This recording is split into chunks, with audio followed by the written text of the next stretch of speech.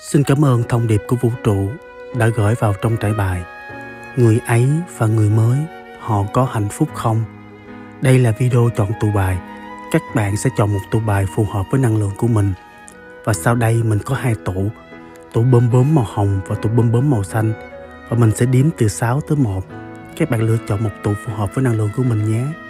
6, 5, 4, 3, 2, 1 và mình chỉ nói những điều cần nói, chứ không phải nói những điều bạn muốn nghe.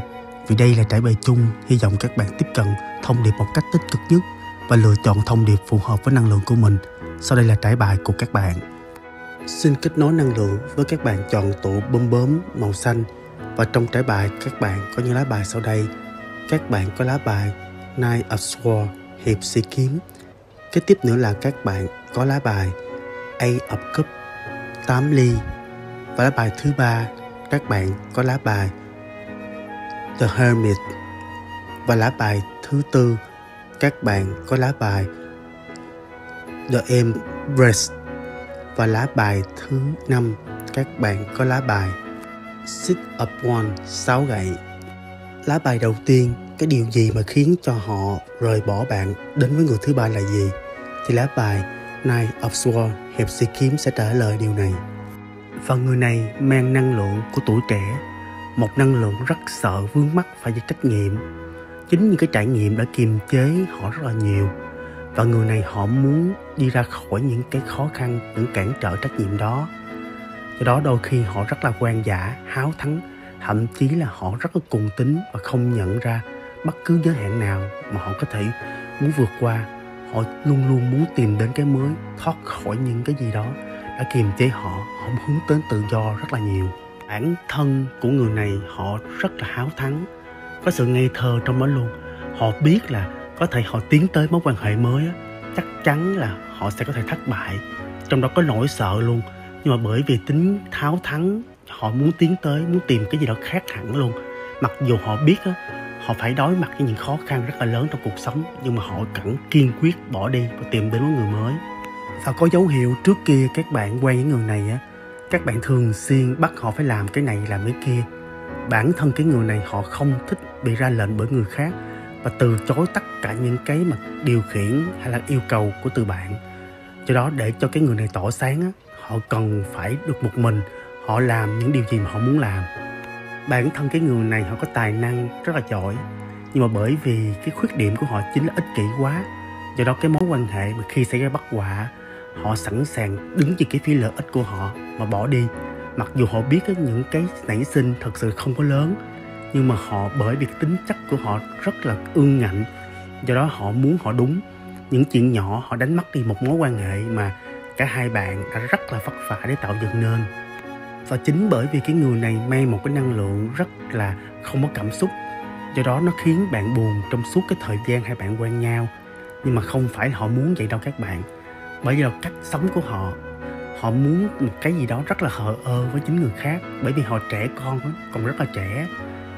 Do đó họ không có chịu được áp lực và sự nóng tính và hiếu thắng. Chính là cái nguyên nhân gây ra hầu hết cái sự thất bại trong tiền tình cảm của cả hai.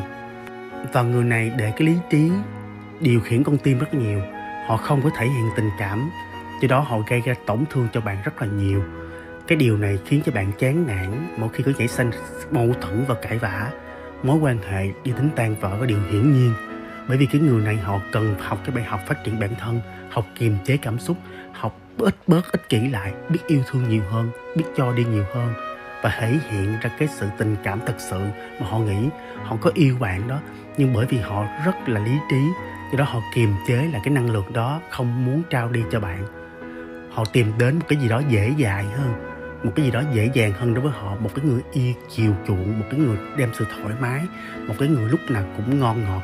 Ngoài bạn ra, bạn không có được điều đó, do họ phải ra đi là điều tất nhiên. Lá bài thứ hai sẽ đại diện cho cái điều mà họ muốn ở tình cảm, mà họ đi đang tìm kiếm là gì. Họ có lá bài 8 ly ngược. Bản thân của người này, họ hiểu rất rõ cái thời gian mà hai người quen nhau là những gì rất tốt đẹp, đã đi vào quá khứ rồi. Họ sẽ chọn đi một con đường mới và họ quyết định bỏ lại sau lưng những cái khoảnh khắc đẹp của cả hai, giữa bạn và họ. Và chính bản thân họ đã thấy là bạn không phải là cái thứ mà hợp cho họ. Một cái sự thất vọng, một cái gì đó khiến họ quyết định rút lui và từ bỏ. Họ đã quay lưng lại với những cảm xúc xưa cũ của mình đối với bạn. Và cái điều họ ra đi tìm một cái gì đó, một tình yêu mà họ tìm kiếm cho riêng mình và điều mà họ không biết rằng chính họ đã quay lưng với những thứ mà đã từng mang lại hạnh phúc cho họ. Mặc dù không có chiếc cốc nào bị đổ hết trơn các bạn, bởi vì tình cảm của bạn vẫn đông đầy lắm, mà họ cứ nghĩ vậy không à cho họ bỏ đi mặc dù tình cảm hai bạn đang rất là tốt. Có thể là bạn đã thể hiện tình yêu của bạn quá nhiều, do đó họ cảm thấy là bạn yêu họ, không có đi chân nữa, bạn vẫn chờ đợi họ. Đây là cái điều sai lầm trong tình yêu, khi bạn không biết yêu thương bản thân của mình họ xem mình cái vật hiển nhiên mà cái gì hiển nhiên là dễ bị thờ ơ lắm các bạn. Nhưng mà cái năng lượng của họ đang mang á, thật sự chưa có sẵn sàng cho mối quan hệ mới. Bởi vì họ đang cảm thấy mệt mỏi và đang tìm cách chữa lành về cái mối quan hệ giữa bạn và họ. Họ đang né tránh đến nhiều liên quan cảm xúc. Đây là không có thời điểm thích hợp để cho họ tiến với người thứ ba. Và giai đoạn của mối quan hệ giữa bạn và họ đang gặp là căng thẳng rất là nhiều. Họ lại chọn cái chữ cách im lặng nhưng mà cái im lặng này không phải là cách giải quyết. Nếu họ biết cách quan tâm, chăm sóc và chia sẻ đối phương nhiều hơn, nhiều khi các bạn hãy thử nói chuyện với họ, hãy nhắn tin. Quan tâm, chăm sóc, đừng nhắc gì cái chuyện quen lại hết á. Đừng nhắc chuyện tình cảm. Mình cứ xem như hai người bạn đi. Mình tâm sự giải bài, bởi vì tình cảm được xây dựng từ sự giao tiếp của cả hai, chứ không phải là sự im lặng. Bạn im lặng, họ im lặng thì chắc chắn cái mối tình này sẽ vượt qua tầm tay của cả hai bạn mà thôi. Lá bài cũng thể hiện rằng cái việc họ rời đi bỏ mối quan hệ với bạn, đây là cái điều mà họ suy nghĩ không có kỹ. Chắc chắn họ sẽ hối hận vì quyết định của chính mình. Và lá bài số 3 sẽ là lá bài đại diện cho họ coi trọng điều gì và giá trị họ muốn nhận được là gì trong cuộc sống tình cảm của cả hai. Hay lá bài The Hermit đại diện cho điều này. Và năng lượng của lá bài này biểu trưng cho sự rút lui ra khỏi những mối quan hệ, những cái quan tâm thế giới bên ngoài. Đó là sự rút lui khỏi cảm xúc bởi những người khác trong đó có bạn. Bởi vì cái giai đoạn này là cái giai đoạn họ muốn phát triển bản thân và biểu thị cái sự trưởng thành của họ. Bởi vì trong chúng ta sẽ có lúc tự nhiên mình bị trầm lắng lại và họ cũng vậy. Họ muốn trầm lắng, khiêm nhường, họ muốn sống ẩn dật bởi vì họ muốn quan sát và học hỏi từ thế giới xung quanh. Năng lượng của người này rất là trẻ tuổi, do đó họ muốn hiểu là họ cần gì và muốn gì trong cuộc sống này do đó họ muốn tìm một cái gì đó sáng suốt hơn sắc sảo hơn để dẫn đường cho họ bước tiếp vào trong trong tương lai. Và lời khuyên của lá bài là hy vọng họ sẽ giữ được tập trung sự ổn định trong tinh thần tránh bị dao động. Bởi vì đạt được một con đường mình mơ ước thành đạt thực sự là không dễ dàng. Do đó nếu như họ có cái mục tiêu và họ theo đuổi cái mục tiêu đó tập trung cái nguồn lực của mình kiên trì theo đuổi và không nản chí á, thì có một số khó khăn xảy ra sẽ không làm họ ngục ngã. Bởi vì bạn phải cần đặt mục tiêu, hy vọng là họ có mục tiêu trong cuộc sống để không có bị tổn thương, khó khăn, làm ngã quỵ họ. Vì trong cái mối quan hệ của bạn và họ trước kia có bị phức tạp quá, có thể là do bạn làm mình làm mẩy hay bạn làm khó họ quá, do đó họ chỉ muốn sống cuộc đời độc thân, tránh sự phức tạp của tình yêu. Cái thời điểm này họ thích sự tự do các bạn. Đối với họ, tình yêu không có quá quan trọng trong thời điểm này và nếu họ có yêu bạn hay yêu người thứ ba chăng nữa thì họ cũng xong không thừa nhận luôn. Bởi vì đây là một cái tâm thế rất là cao ngạo. Chính là cái trở ngại lớn nhất của họ. Tại thời điểm này, một cái sự bế tắc đang diễn ra trong nội tâm của chính người này. Một sự tạm ngừng chia sẻ tất cả các mối quan hệ xung quanh luôn. Cái này các bạn hay có câu á, đúng người mà sai thời điểm mà đúng á. Bởi vì cái thời điểm này là họ cần cái không gian riêng. Cho đó họ quá là vô tâm thờ ơ, lạnh nhạt với bạn khiến cho bạn tổn thương. Mà khi bạn tổn thương thấy họ kỳ cục vậy, bạn hay làm hỏi những câu hỏi hay làm bạn áp đặt hay cảm xúc của bạn, dâng trào, bạn nổi nóng. Bạn hỏi hỏi hoài, họ mệt mỏi quá, họ bỏ đi thôi các bạn, đơn giản là vậy thôi. Nếu như trước kia bạn biết đem cho họ sự thoải mái nè cái sự vui vẻ, bạn làm cho họ là cái nơi mà họ muốn ở gần bạn. Họ muốn gần bạn nhiều nhất, bởi vì khi mà mình đem tâm lý thoải mái thì họ muốn ở gần hơn, họ chia sẻ bạn nhiều hơn, từ đó bạn sẽ thấu hiểu được họ rất là nhiều dù sao chuyện đã qua rồi. Thì các, bây giờ các bạn hãy xem như hai người bạn đi. Hãy quan tâm một cách rất là dễ chịu. Hãy hỏi những câu hỏi mở để họ có thể mở lòng mình nhiều hơn. Bởi vì cái người này không thích sự ràng buộc, không thích sự cảm xúc mà nổi nóng bất ngờ. Họ thích cái gì im dịu, bởi vì họ không muốn bị cảm xúc bởi mối quan hệ làm dày dò hay làm gây khó khăn thêm cho cuộc sống của chính người này. Và lá bài thứ tư chính là lá bài đại diện cho sự lựa chọn đầu tiên, cái sự lựa chọn đầu tiên chính là bạn, bởi vì bạn là quá khứ, thì lá bài The Empress này chính là lựa chọn của họ nghĩ về bạn là như thế nào. Thật sự một trải bài nó ra những lá bài nó phù hợp nhau kinh khủng khiếp luôn các bạn. Bạn có biết cái gì không? Chính là cái sự hoàn hảo của bạn là cái áp lực rất lớn đối với đối phương. Đối với những cái đối tượng mà chưa đủ chín chắn và chưa hiểu được giá trị thì họ sẽ không nhìn ra sự tuyệt vời ở bạn đâu bởi vì bạn mang một cái năng lượng rất là chiều chuộng, người khác bạn chăm lo cho cái người này rất là nhiều. Nhưng mà cái điều này chính là cái điều đẩy bạn ra xa đó. Cho đó bạn phải chú ý tới bản thân mình nhiều hơn, hãy chiều chuộng mình nhiều hơn để mình giữ được sự chú ý của đối phương lâu dài.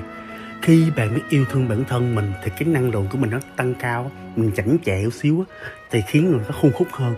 Bởi vì bạn mang một hình ảnh của người mẹ, bạn rất là một người rất lý tưởng trong gia đình nhưng bạn không mang cái hình ảnh của người tình yêu, chính là cái người mà người ta muốn ở gần. Những cái con mèo nho nhỏ nhũng nhẽo này kia, bạn không có cái năng lượng đó. Do đó bạn học cái kỹ năng làm người tình là như thế nào đi các bạn. Bởi vì người vợ khác, người tình nó khác. Khi bạn biết xây dựng cái hình ảnh một người tình thì sẽ hôn hút họ rất nhiều. Bởi vì cái người này năng lượng họ rất là trẻ mà trong khi bạn đưa cho họ năng lượng gia đình thì làm sao họ ở lại với bạn được?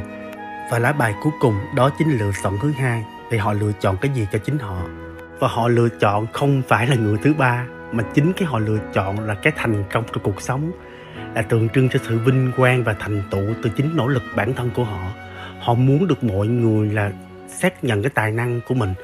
Họ muốn mọi người tán thành cái điều đó, bởi vì ở bên cạnh bạn bạn ác viếng người ta quá, bạn giỏi quá do đó, cái hào quang người ta bị lu mờ đi. Chính bạn là cái nguyên nhân làm cho họ rời đi bạn bớt là cái hành quả của mình, bạn bớt hoàn hảo đi bạn. Hãy bớt khiêm nhường chút xíu để cho cái người đàn ông của bạn họ phát sáng lên. Người tình của bạn họ còn tỏ sáng nữa. Bạn tỏ sáng quá, bạn lu mờ người ta luôn rồi. Thì những cái người này họ sẵn sàng ra đi.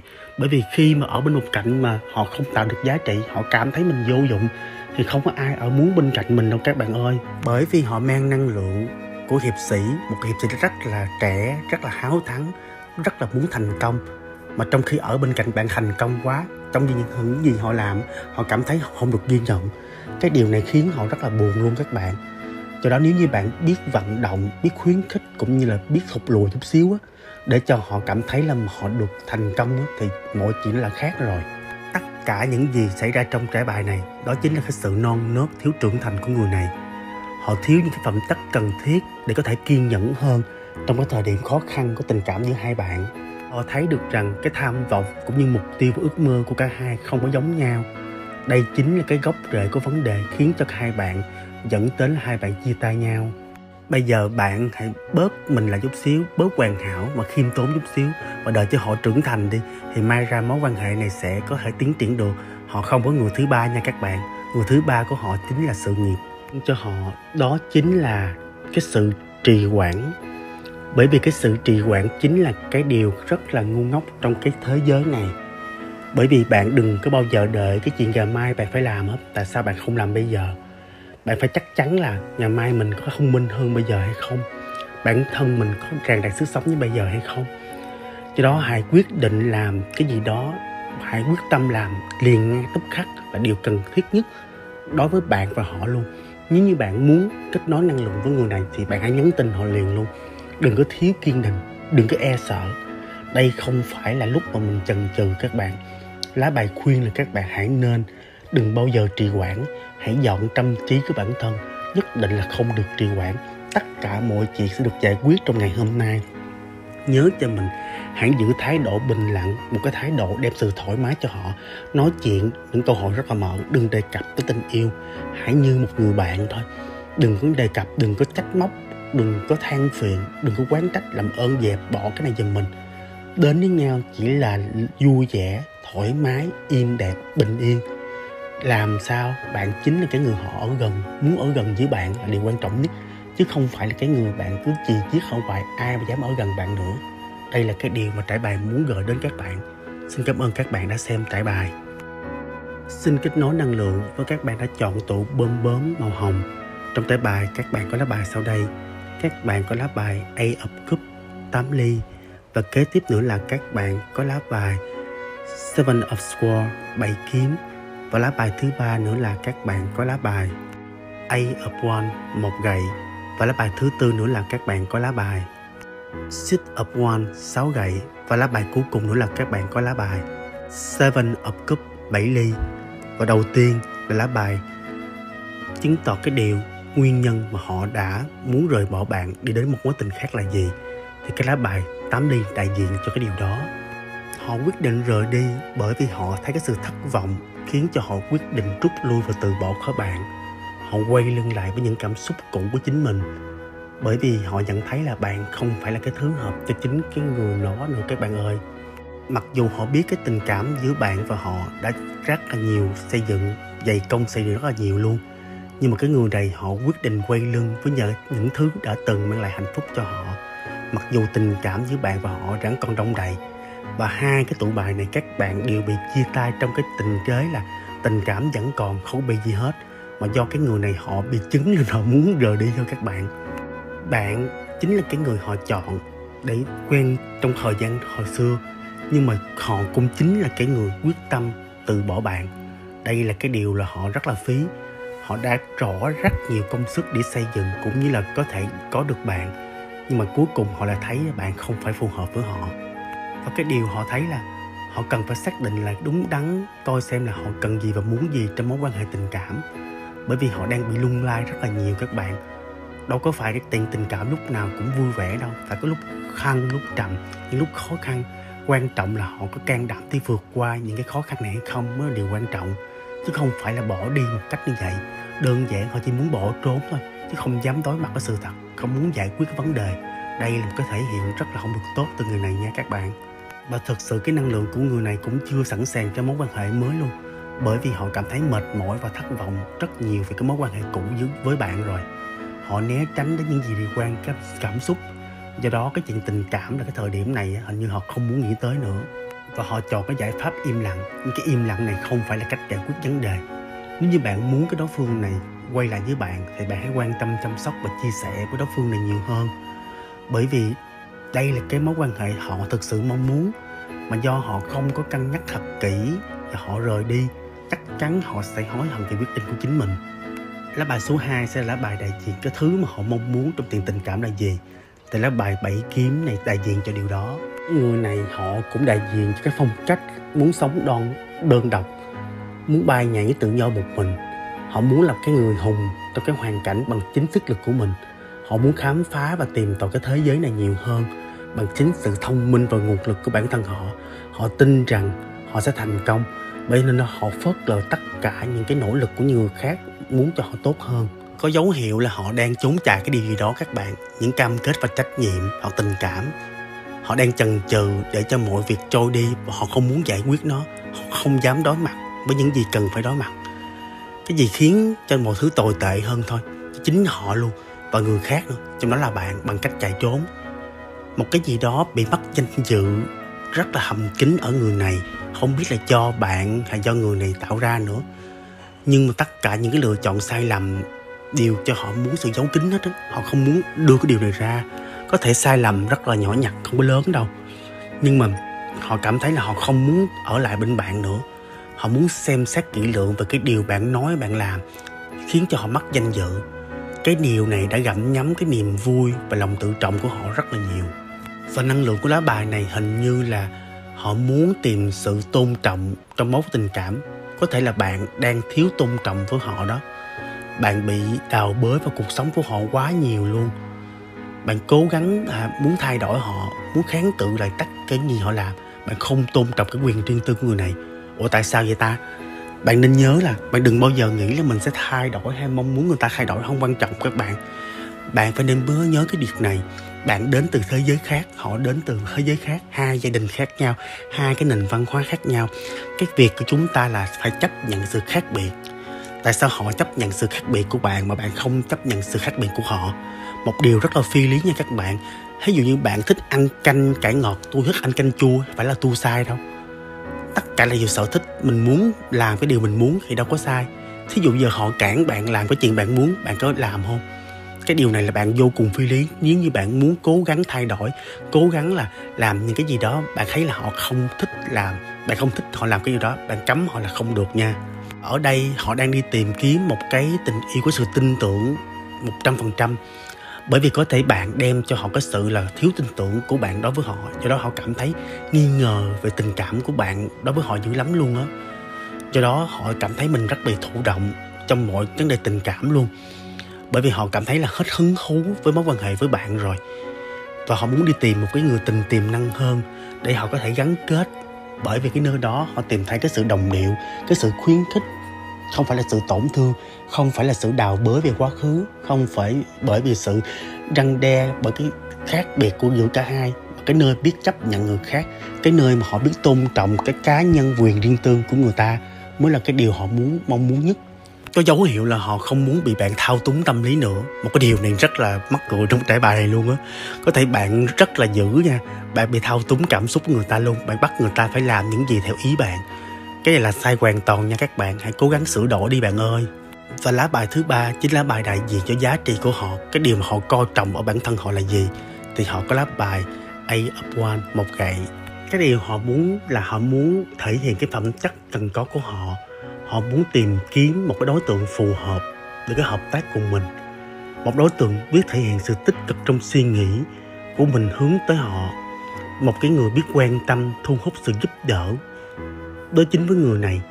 Một cái người không phải là quá hăng hái, quá sung để mà đi quá xa trong mọi vấn đề.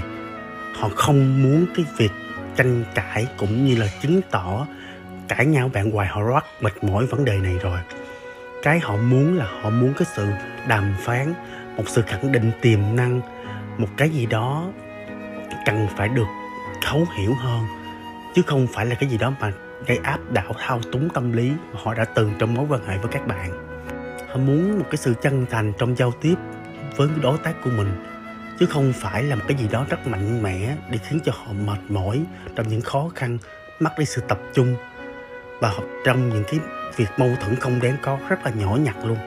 Đây cái điều mà họ cảm thấy được cái mối quan hệ và họ muốn tìm cái, cái gì đó khác hẳn so với những cái mối quan hệ trước kia đối với bạn và cái việc này họ làm một cái động lực để họ muốn thoát khỏi bạn và tiếp tục cái hành trình đi tìm tình yêu với người khác. Họ mong muốn cái sự tình cảm, có sự giao tiếp thật sự giữa họ và người yêu. Và có dấu hiệu là họ thấy là giữa bạn và họ thật sự chưa phải là tình yêu. Đó chỉ đơn thuần là sự đam mê về thể xác. Bởi vì cái nguyên thủy, cái vấn đề giữa bạn và họ chính là sự tình dục và sự thống trị họ muốn tìm một cái nguồn cảm hứng yêu đương mới, một sự tự tin hấp dẫn, nhiệt tình và đầy năng lượng. Nếu như bạn không có dấu hiệu về tình cảm thể xác với người này á, bạn không có ham muốn á, dục vọng quá cao đó với bạn á, thì có thể cái người này họ đang tìm cái gì đó bị hấp dẫn của thể xác. Dục vọng, họ muốn chinh phục dục vọng nhiều hơn. Có hai vấn đề vậy bạn. Một là bạn đem cho họ cái sự về dục vọng, tình ái. Hai là họ đang tìm kiếm một cái gì đó dục vọng về tình dục rất là nhiều.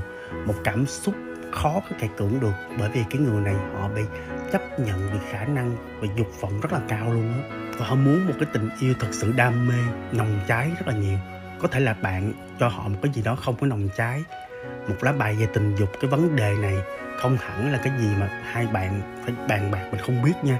Nó không chỉ là khuôn hút về cái vấn đề thể xác, nó còn có khả năng là kết nối tâm linh. Nếu như bạn và họ thực sự có khả năng kết nối tâm linh cái điều này nếu có, thực đây là cái triển vọng rất lớn cho bạn và họ luôn đó.